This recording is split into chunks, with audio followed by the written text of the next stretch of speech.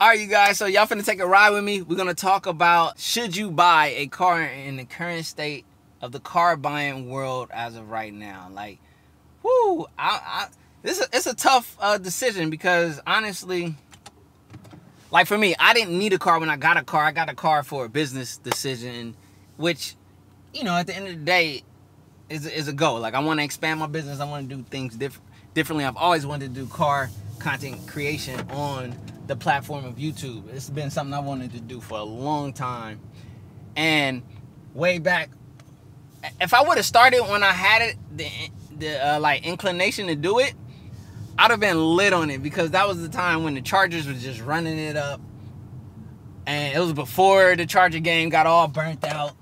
Cause I was early on uh, Tall Guy car reviews and Mr. Organic. I was watching them early, and obviously I was in the tech space heavy at that time. But I've always loved cars. Hold up, we gotta change our mode, or driving mode. You know, I, I roll in my custom mode, which is a little more stiffer. Little, it's, it's a little racy slash uh, sporty, for sure. Um, nevertheless, coulda, shoulda, woulda doesn't apply. Period. Anyway, when you're trying to do something, it's either you did it or you didn't, and I did not. So that's my bad right there. But the reality is, buying a car in today's market is hideous. It's terrible. Like these dealers are scratching and clawing just to survive right now, right? And it's it is the messed up part is where do I? Oh yeah, I'm supposed to turn right here. Is you get caught in the crosshair in the crossfire because it's not our fault that they can't get cars and that there was like you know a whole pandemic and there's a uh, vehicle shortage amount right now. Like that's not our fault. We didn't cause that to happen. And you know they got overhead and they're not making as much as they used to. They're not selling nearly as many cars as they used to. It's not our fault. Period. Like I could I could care less how you look at it, how you try to spin it. It's absolutely not the fault of us, the consumer. Like honestly, when you pull up to a car dealer in today's market, you're trying to help them out. But the problem is they're marking up the cars because of the market adjustment. Okay, one thing. I bought an enthusiast car. I expected it to a degree. I didn't expect it as much as it was for this car, but I expected it. Then there's the second thing on the financing point. This is where my issue comes in. In the reality that I went to a dealer with a pre-approval and they literally purposely kind of overlooked my pre-approval to do it through their thing and their way, which rubbed me the wrong way. I'm, I'm gonna be honest because the whole point of me coming with a pre-approval was so that I wait, I didn't have to go through any of they nonsense and BS. Like at the end of the day, when you know your credit score and you know what rate you deserve, don't accept anything else other than that. So the second side is the financing, right? They're gonna try to get you on financing. They're gonna try to sell you all these things, typical dealer stuff. But the problem is they're a little bit more sneakier and, and, and snakier with it, and just nasty with it, flat out because they cannot afford to not try to force you the way that they need you to to squeeze every penny and dime out of you. So it's like a terrible time to buy a car unless you absolutely need one. Here's another thing. I don't know why in the car world or in the car dealer, you know, industry, integrity is just like nothing. Like if I were you and I was shopping for a car right now, the number one thing I would look for is integrity, which is going to be hard to find because it's the car dealer industry. Come on now. And it's sad to say it that way.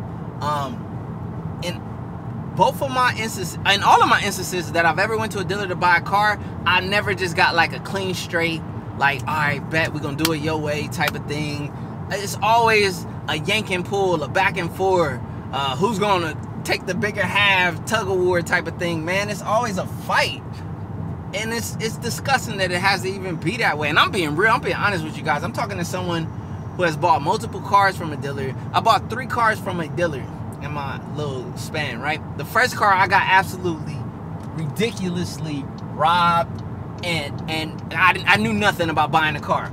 I bought this, I think it was a 2001 Camaro Z28. I was young. I saw it had a certain price. You know, I went in there. I did a cosigner. I did money down, and they still gave me like some crazy percentage of like 20% uh, interest rate, which they made a ton of money off of. But I didn't know any better then.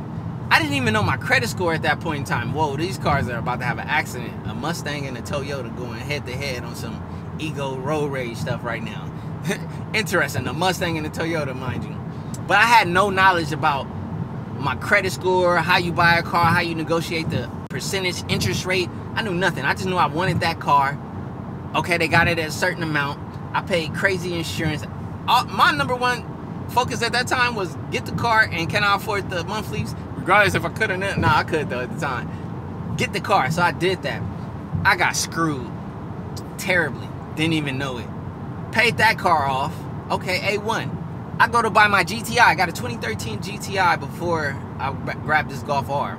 Went in there with a 760 credit score, mind you, which means I qualified at that point. 760 qualified for the highest rate, period. So I believe once you cross 760, if I'm not mistaken, you you you qualify for the top rate. So they came in, they come back to me, they run my credit. At that time, I didn't know about pre-approvals and all that stuff. I just went up there, it was Black Friday. I took my Camaro, I was meaning to trade it in. I wanted to trade my Camaro in, not put no money down, and leave with a new car. So I pull up, yo, I got this Camaro. Tell me how much you give me for it. They quoted me some low money. I was like, ah, they gave me a little thousand dollar more for it. I really should have got more money for my Camaro. That's where I screwed up. Option number one. Number two, in today's day and market though, selling a used car, trading in, you should get top dollar because they need it bad. The, the, the, the roles have switched. So, okay, run my credit score. I got a 760 credit score. It means you should give me the best rate available. They come back to me at like 10%, 11%. It, I think it was over 10%. I said no. Nope. At this time, luckily, thankfully, I had the guidance of my dad at the time. Pop was telling me like, nah, that's not what your rate should be. You know what I mean? So I'm like, okay. I told him no. They come back like seven percent or something, six. Like no, come back at like four or five percent. You know what I mean? Nope. Just slowly chipping away, and I'm like, yo. And they came back in there like I think they was trying to get me at like five percent or six percent. I told them no. Uh, they was like, okay, well take the GTI, the car that I don't own yet, take it home, and I'll get you in word. I said no. I'll take my Camaro back. I'll take my Camaro home. So basically, I left out the dealer with my car, no deal, no nothing, and I went home. They called me first thing in the morning at 2.25% or something like that and told me he got it, he got it at 2.25. I came back in, I got the car. I left ahead. He was pissed though. And he was trying to sell me all kind of stuff. You know, when you get in there with the financing person, not only do they like write your up your loan and hopefully screw you on percentage, the next thing they want to do is try to give you all of these insurances and warranties and all that. So I had to fight with him. No, no, no, no, no, no, no, no. Left out of there for what the car costs at a two point, I think two percentage auto loan interest rate. Man, scot free. That was the best deal I got. And it was not smooth, unfortunately. Even though my credit worthiness was worth me walking in and leaving with the best rate, in and out, not wasting my time. They still waste your time. Hence to me buying this Golf R. I walk in there. I got over 800 credit score. You got if you watch the video, if you didn't watch the video when I picked up this car, watch it. You'll see my credit score because I show it to you there. I mean, this is kind of personal, but I want to inspire. I, I really want to promote people to get on their credit. Over 800 credit score. I have a pre-approval this time. I went to my bank. I told the bank how much I want to borrow. They said, yes, you can borrow this money. Here's the letter. You hand it to the dealer. All they have to do is enter in the, the code and information and we'll, we'll approve it through your pre-approval. I sent that letter ahead of time. I told the salesman, do not run my credit. I got a pre-approval. We're doing it this way. He called me back. Hey, we need you to do a credit app. It's like protocol, which is technically not true. They do not need to run your credit in order to sell your car. I found this out later after the fact. I fill out the credit app. I'm like, all right, cool. Just I'm giving you this so that you know that I am who I am. I'm not finessing you, whatever. Even though, man, I had a pre-approval, dude. Like, what are you talking about? Do not run my credit. That's what I told him. Man, they ran my credit. I called them. I'm like, dude, why are you running my credit? I got credit alerts. Why did you run my credit? Da, da, da. So they apologized for that. I'm pissed at that point. I haven't even went out there to get the car and they already dinged my credit, got an inquiry on me. I'm mad. I tell him specifically on coming out, give this pre-approval. He never gave. I don't think he ever gave the pre-approval letter, letter to the financial dude. He just told him run it through because that's who he wants to go with. The pre-approval has a way that they can run it in their system that they use to go through the pre-approval. I get there, I'm like, why is it taking so long? They doing all this stuff. I'm like, yo, what's what's up, man? They should have had paperwork. I gave them all the information they needed, two, like two days before me even getting there. I should have pulled up and there should have been paperwork. Nah, it's taking forever. Hey, we need proof of income. What? Y'all need proof of income? I got a pre-approval. I already gave all the numbers and all the information. We need that. That that was red flag number one. Like, okay, we need check stubs. What? We need. Oh no, bank statements. What? I give y'all the bank statements. Whatever. Boom. I give my business bank statements. I just I just gave him that because I'm like, you know, y'all don't need to. Here, this shows, you know, the amount of money I'm bringing in. Blah blah blah. Oh, we need a Schedule K or a tax return. Bro, I'm like, why are they auditing me so hard? Like, what? What? What is this? Man, come to find out, the only reason I had to go through all of this is because they were running it through their system. So, talking about, oh, we got, man, they kept me in there all day they send me home with the car. I signed the like paperwork or whatever, or the contract saying that it should be at this rate, blah blah blah. And then I start getting calls from the finance, and I'm like, yo, why are they calling me? This should be all the way through. I had a pre-approval letter. Oh, we what's your verifying information, like birthday and all that stuff? Okay, all right, it should be good. Call me again. Hey, we need you to verify your income. Like, uh, well, what did you put on the application that the dealer submitted, right? They're just trying to cross-reference what the dealer submitted, mind you, not using my pre-approval, because they submitted a credit app on their own, just to make sure it lined up, make sure the dealer wasn't lying, I guess, to sell cars or whatever. You know what? By this point, I'm pissed. I already got the car. I'm at home.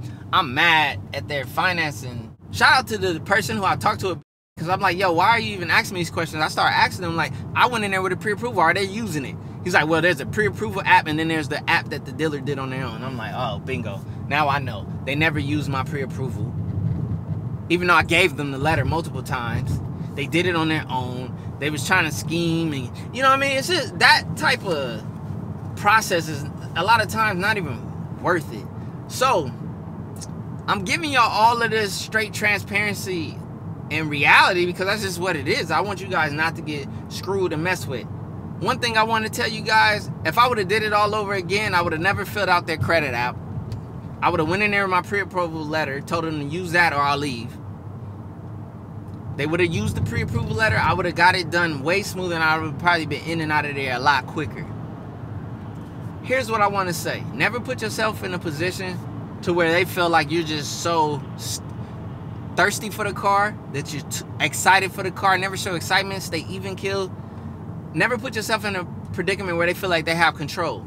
My number one mistake was I flew out there with no way to return. The original way I was gonna go was I was gonna have a friend drive me, which means if they would have started talking buck or doing something crazy, I could have been like, all right, I'll leave, I'll, I'll drive out. But the fact they knew I flew there, they felt like they had control to manipulate the situation. Again, know your credit. Know how much credit you have. Know your credit score. Know what rate you qualify for. Number two, build a relationship with a bank and get a pre-approval. And if you have the kind of pre-approval like I had, which was a yes, not a, even a question, I had a pre-approval for way more than what I spent on a car. So it was a guaranteed approval. There was no need for me to have to verify nothing. I already told me, yo, you good for more than what this car cost. Number one, put yourself in a position where you can leave and you have full control of, it, of the whole bargaining situation. Number two, know your credit work on your credit, build your credit. So that way you know your score and you know what percentage rate you're supposed to get so you don't get screwed on your percentage rate. Know the going top rate if you have the top credit and know that that's the rate that you're supposed to leave with. If you got whatever mid-tier credit, know whatever that rate is and that's the rate you fight for. Number three, get a pre-approval with a bank. Have a relationship with these banks. Do multiple things with these banks, like a credit card. Uh, um, I'm not telling you get into debt, but I'm telling you to build out and show responsibilities. You know what I mean? Have your money coming in and out that bank so they know, oh, this person has money. This person, you know, is doing what they need to do. They're responsible. We can loan to them. So that way you get a pre-approval letter like what I had, which was a yes already. You don't need to run my credit again. And you go in there and you make them use that. If they want to sell you the car, they'll use it and they'll do it the right way. All of these dealers are trying to come up and right now it's uh, it's nasty because they're not making the money they they're usually making. They're not selling. They don't have enough cars to sell as many cars as they used to sell. So they're just like, it, it, it, it's not in the interest of you. I know this is a long video, a long conversation, but this is real life. This is what it's all about when you're out here and you're trying to protect yourself finan- financially and trying to get the best outcome with these deals. You got to know multiple things. So hopefully I was able to enlighten and inform someone out there. I'll do some videos about how to improve your credit. I'll, maybe I'll do a video like that. Someone asked me to, you know, share a video showing the car process or how and what I, what did I do. So this video was about was supposed to be about should you or should you not buy in this market, but it turned into like, you know, well, yeah, it still is. It turned into also like a, you know,